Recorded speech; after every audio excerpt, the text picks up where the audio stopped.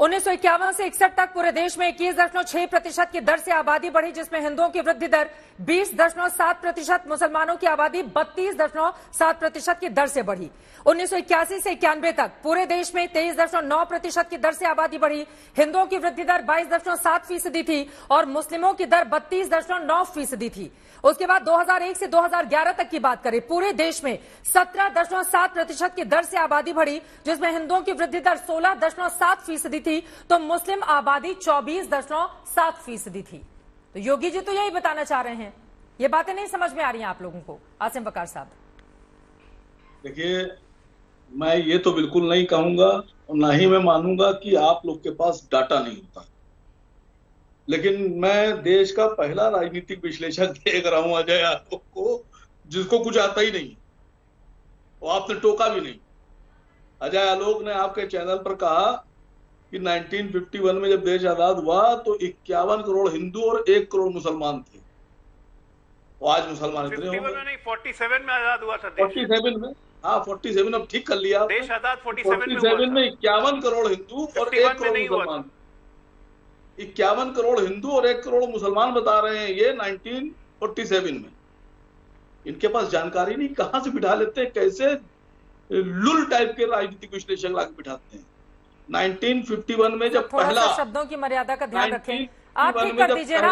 Sir आप तेज करा रहे हैं पढ़े लिखे हैं। आपके पास ज़्यादा जानकारी करेक्ट कीजिए उनको। मना दीजिए। किसने किया है आपको। उनको बोलने जाएगा मैडम हाँ। उनको बोलने दीजिए ना। 1951 में जब पहला सेंसस बोलने दीजिए ना। कंसेंसस देखेंगे।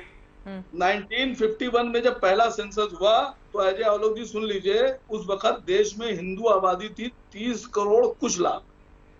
और मुसलमान थे लगभग 4 करोड़। और 2021 के आंकड़ों के हिसाब से हिंदू आबादी है 119 करोड़ कुछ लाख। अब अंदाज़ा लगा लीजिए आपके आंकड़ों का कितने झूठे और फरेबी आंकड़े आपके। या तो आप झूठ बोलते हैं या आपके पास जानकारी ही नहीं। आप बिना जानकारी के आदमी हैं और आगे टीवी बैठ जाते हैं। मैं तो एतराज़ लगा रहा हूँ इसके ऊपर। हम्म, हम्म, हम्म। ऐसे जानकारी आपके पास जानकार लोगों को टीवी पे बिठा के देश को क्या मैसेज देना चाह रहे हैं आप लोग? क्या पूरे देश को जाहिल और अनपढ़ और गवार बनाना चाह रहे हैं? बिल्कुल ऐसे ही कि उसके पास कोई आंकड़ा ना अरे तो आपने जागरूक कर दिया ना आसिम बकार साहब। अब मेन मुद्दे पर आ जाते हैं। मैंने तो यहाँ पर तीन बार का आंकड़ा दिया किसकी आबादी कितनी तेज़ी से आगे बढ़ी है। उस पर भी कुछ बोल लीजिए। मैं तो योगी आदित्यनाथ ठीक है आपने उनको करेक्ट कर दिया। अब इससे आगे बढ़ते हुए इसीलिए चार लोग बैठते हैं कि अगर कहीं से कोई चूक हो जाए तो दूसरा उसको ठीक कर सके ये तो अच्छी बात है। और आपने बता भी दिया लेकिन कम से कम पर्सनल और व्यक्तिगत शब्द ऐसे चुने जाएँ जिससे कम से कम जो दर्शक देख रहा हो उसको ऐसा ना लगे कि हम किस तरह के डिबेट देखने के लिए बैठे हैं। मैं आ जाती हूँ अजय आलोक कुछ बोलना चाह रहे हैं लेकिन मैं मैंने जो सवाल आपसे पूछा था कि जो वृद्धि दर है हिंदुओं की और मुसलमानों की उसको लेकर बार बार सवाल खड़े होते रहे हैं। और वो तो आंकड़ा भी इस बात को लेकर पुष्ट करता है इसको। अब इस आंकड़े को तो आप नहीं झुटला पाएँगे। मैं मैं आपसे यही कह रहा हूँ कि जब 30 करोड़ इक्यावन में थे और आज 119 करोड़ हैं तो इसको मल्टीपल आई कर लीजिए आप मल्टीपल कर लीजिए। हम्म। और जब चार करोड़ मुसलमान थे और आज करीब साढ़े अठारह करोड़ हैं इसको मल्टीपल कर लीजिए आप। अभी आपको सारे आंकड़े मिल जाएँगे। हम्म। क्या आपका आंकड़ा झूठा मेरा आंकड़ा झूठा सब मालूम पड़ जाएगा? भाई 30 करोड़ से लगभग 120 मान लीजिए तो 25 परसेंट के आसपास आ गया। हम्म। हिंदू आबादी हमारी। और चार करोड़ से साढ़े अठारह इसको जोड़ लीजिए।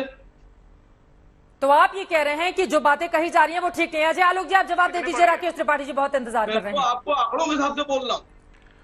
मैं तो आंकड़ों के हिसाब ठीक है सर मेरे पास भी जो आंकड़े थे उसी के हिसाब से मैंने आपसे सवाल पूछा। ठीक है बोलिए। अजय आलोक जी आप बोलिए राकेश त्रिपाठी इंतज़ार कर रहे हैं। मैं इन्हीं के सा- मैं इन्हीं- मैं हाँ मैं इन्हीं के मैं इन्हीं के हिसाब से जवाब देता हूँ। ये खुद ही कह रहे हैं। मैं तो मैंने तो एक ही करोड़ मुसलमान कहा था जो कि बीस करोड़ हो गए। ये कह रहे हैं चार करोड़ मुसलमान थे अब साढ़े अठारह करोड़ हो गए। कितने परसेंट बढ़े भाई साहब? आप बताइए साढ़े चार सौ गुना बढ़ गए। तब भी तसल्ली नहीं है। साढ़े चार सौ गुना बढ़ गए ना मल्टीप्लाई कर लीजिए फोर इंटू फोर सिक्सटीन और दो सौ और दो और फोर पॉइंट फाइव टाइम्स हुआ। साढ़े चार सौ गुना वृद्धि दर लेके आप खुद बोल रहे हैं मुझे कि मुझे जानकारी नहीं है। सारी जानकारी लेके तो आप ही बैठे हुए हैं ज्ञानी पुरुष। नहीं बैठा हूँ अभी भी आप गलत ये बताइए कि अभी भी आप 1951 के सेंसस में जम्मू कश्मीर असम और नॉर्थ ईस्ट का आपको- हुई थी। अब आपको एक भी मिनट नहीं एक मिनट। अब आपको 1951 के सेंसस में जम्मू कश्मीर जम्मू कश्मीर नॉर्थ ईस्ट को छोड़ दिया गया था। जरा उसको भी जोड़ लीजिए। तब हिसाब अपना बैठाइएगा। आज की बात व्यक्तिगत सच्चाई ये है कि आप लोग हर चीज़ को राजनीतिक चश्मे से देखने लगते हैं जो कि ठीक नहीं है। ये आबादी देश की आबादी है कोई हिंदू मुस्लिम की आबादी नहीं है। और मैं कह रहा हूँ टारगेट करने तो आपके कम्युनिटी के भले के लिए है। आपके कम्युनिटी के खराबी के लिए नहीं है। ओवैसी साहब आपके हैदराबाद के सांसद पिछले पचास साल से उनको वो उनका परिवार सांसद होते रहा। कितने मुसलमानों को गरीबी से निकाल दिया उन्होंने हैदराबाद में। आपको कम से कम उनकी हालत के बारे में सोच लेते और उनकी हमारी आबादी कितनी बढ़ा दी। उनकी आबादी कितनी बढ़ा दी। क्या अच्छी बात है। अच्छी बात तो सुनना पसंद ही नहीं करते हैं आप लोग।